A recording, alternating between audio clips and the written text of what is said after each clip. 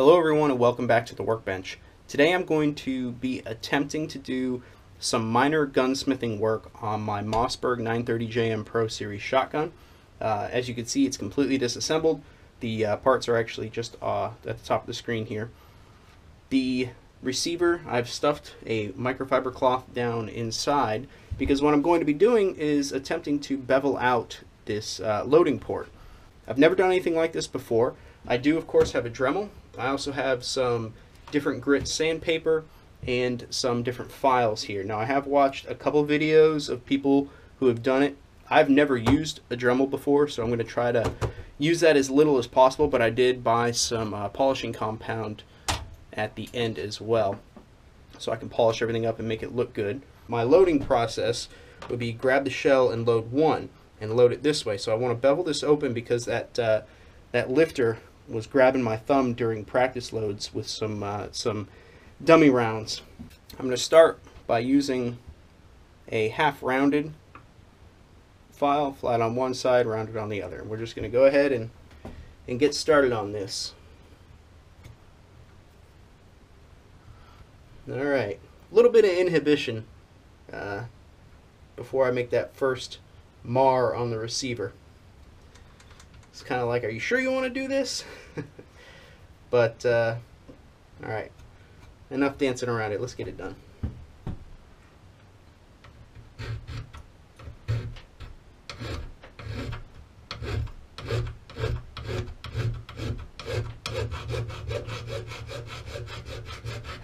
Alright, so I've only probably been at it about five or six minutes, um, and I've got a nice round going on this side. This is just with that one file. Uh, using the flat side, it's rounding out rather nicely than this, uh, you know, going back to this other side here, it's got a little bit of a point to it, uh, a little bit of an edge. And I'm just rounding that edge down all the way down into the receiver. So it had an edge on the top, kind of an edge here. And I'm just rounding both of those off. And then I just go back through and I'll give it a feel and just keep going. And I'm just using a file going very slowly. When I get to this corner, I'll probably end up using this uh, circular one here, but I'm not there yet. Let's keep going. So on the sides, I'm not trying to open anything up. I'm just more so trying to smooth everything down and get away from these edges. I'm trying to have just a nice rounded feel to it. And actually that feels like it's coming out very good. So let's work on this back little corner here with this round file. And again, I'm going to go very slow, very light, pressure and uh, just kind of let the file do the work.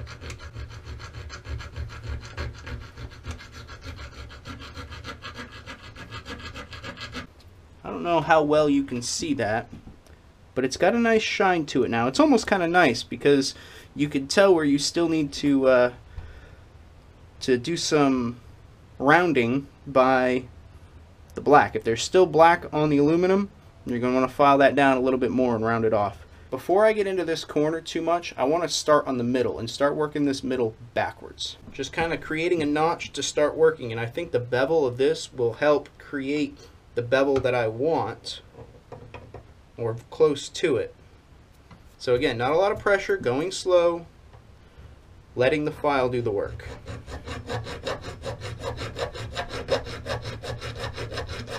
And I'm going more vertical than uh, than 45. 45 would probably be about right there-ish, but I'm going a little bit more vertical.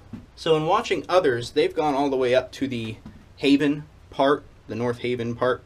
Um, and I think that eventually when I start to round everything off and smooth it out, it might find its way up there. But right now, I'm, again, more vertical. In fact, that's the angle that I've got. But I am going more vertical because I want to get that cut in. I don't care about the top right now. I care about the bottom and where that ends up. Uh, so I'm looking at it. And I've still, still got a little bit more to go. I'm probably going to cover the, there's a 930 stamp, and I'll probably go just to the top of that stamp. Alright, so right now I am just to the top of that 930 stamp. So, see if I can give you a, a view of what this looks like here. There is a nice little notch in the receiver there. And that's exactly what I was going for. As you can see, it's right to the top of that 930 12 gauge stamp. And that's right where I wanted to go with it. Now from here, I'm going to start rounding out this side and kind of evening that out first. I'm going to finish this side, then I'll take and flip everything around, and then I'll work on the other side. Alright, got a nice little edge going there. So now I'm going to start rounding it out this way. I'm going to try to flatten this out just a little bit. But before I do that, I'm going to get under here with this round file and take the sharp edge off the bottom of what I just made. So far, this is what we're working with. And again, you can see my scratches from going too slow. I might end up just polishing the entire bottom of this. Not sanding, just polishing with the Dremel, but we'll see. We'll see what I decide to do. And you can see one side versus the other.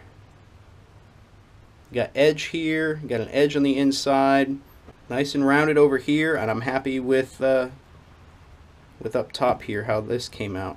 I'm happy with that.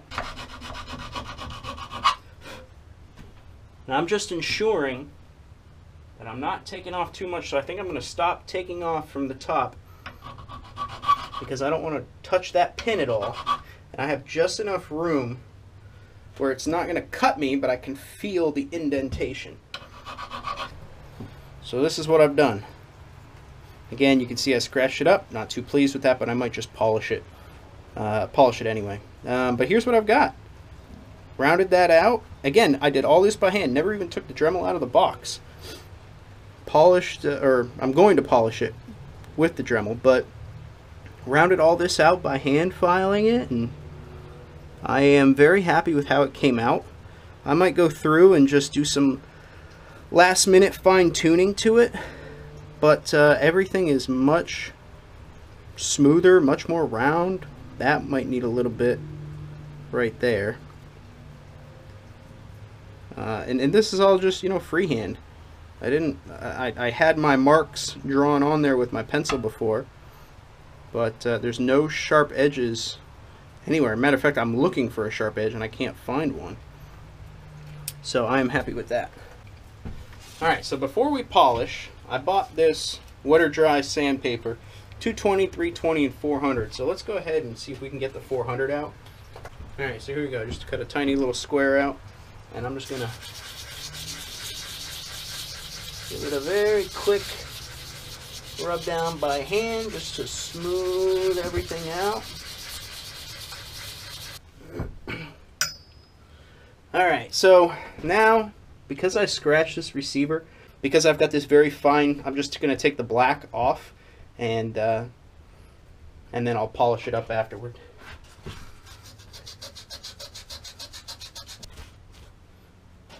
Alright, so I had gone down to the 220 grit just to get all that black off of there. Um, the 440 was work or the 400 was working, but uh, it was just taking forever. So now that I've got all the black off, I'm just going to go back over with a 400 grit and uh, try to smooth out some of those 220 lines. Alright, again, keep in mind the only reason I did this to the bottom, the whole bottom, was because I scratched the receiver. But you wouldn't be able to tell now. You can still see Mossberg, made in USA, you can really see how nice all that sanded up. And now to put a polish on that.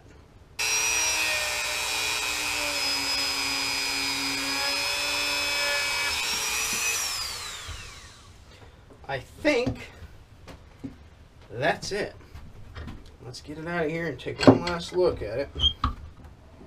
I gotta say, I am pleasantly surprised at how well that came out. The shine on it is nice. I'm very happy with the shine that I put on it. Um, again, having never used that tool and having never done this process, I, uh, heck, I'm happy with it. Looking at it, there are no sharp edges. Everything is rounded. I'll tell you what, that is smooth smooth. Now let's hope, the whole reason I did this is so my thumb doesn't get caught. Let's hope that I took enough of this off. Alright, so here we are, last steps. I've got the cleaned up receiver. I will uh, do another full clean and lube of this at a, at a different date. Uh, but right now, I want to get this back together so I can see what it looks like. So, I guess let's just go ahead and put everything back together. Alright, so good news. It's back together, and of course, it is clear. Uh, no ammunition present, but that's how it looks now. With everything polished up, I uh, I gotta say I really couldn't be happier with how this turned out. Uh, again, like I said, if I need to, and my thumb does continue to catch when loading, which it may, um, I'll just get the lifter welded. But I think that I've opened that up enough to be able to drop the shells in just fine. Of course, you can actually buy aftermarket uh, lifters. You don't even have to have it welded. You can just buy this part uh, and use that. And there might be a time in the future where I uh, come back and do a little work to the trigger itself here, or the uh, trigger housing. But uh, but for the time being, I'm happy. I like the way it came out. I uh, yeah, I I like it. So again, my loading position is going to be like this. I'll have a pouch of shells right here in the front. And uh, so when shooting, you know, I'll go from the shooting position and I'll tuck under and support the firearm like this to bring that in nice and close to that pouch. That way it's less movement. There might be a day where I get into twins or even quads, but, uh, but for the time being it'll be uh, weak hand or offhand, one at a time, through a uh, just a big holder or a pouch. So I'm happy with it. I like the way that it looks. It's nice and smooth. It with, with everything put together like this, it almost looks like like somebody who knew what the heck they were doing did it. Uh, not somebody who had never used a Dremel before. So, so thanks for sticking around and thanks for watching. I will talk to you all again very soon.